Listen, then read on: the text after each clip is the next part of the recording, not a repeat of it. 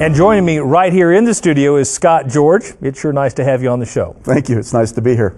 Well, first of all, congratulations on your election as uh, Vice President of NCBA. Why don't you tell folks just a little bit about yourself and your duties as Vice President? Okay, I am a, actually a dairy farmer from Cody, Wyoming. I'm in business with two brothers and, and four nephews. And so it's, it's kind of unique to be in the, in the leadership of NCBA. But we have a well rounded group. We have a cow calf operator, a feeder, and now a dairyman in the leadership, and so it, it represents all segments of the industry. As far as my role as vice president of NCBA, uh, we're dealing with all the issues. Our top priority is to promote and defend beef and our modern beef production practices. That's our top priority. And, and uh, NCBA is such a multifaceted organization, dealing in very, very many ways, but all of those areas complement each other, helping to move the industry and our product forward. And tell me, what are some of the issues you're most passionate about? Well, I'm, I'm really uh, interested in the promotion of the beef product as a, as a whole, mm-hmm. but also we have to have the policy arms working there.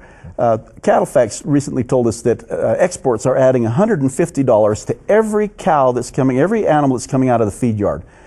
That's a great profit, but there's a great more potential opportunity there. We need our policy arm to help help push Washington to open more market access so that we can even, even have better profit, profitability there. That's one of my big issues. I'm also concerned about uh, the consumer's perception of how we produce our beef today.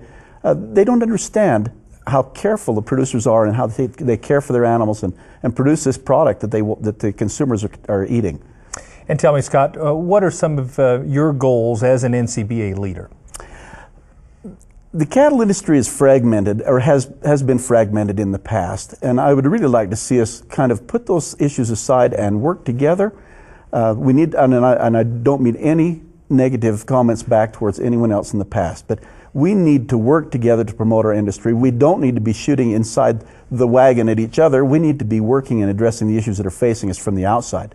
And I would like to see that. Well, I totally concur, and I wish you and the rest of the leadership great luck on, uh, on what you're doing for the industry. Thank you so much. Thank you, Kevin.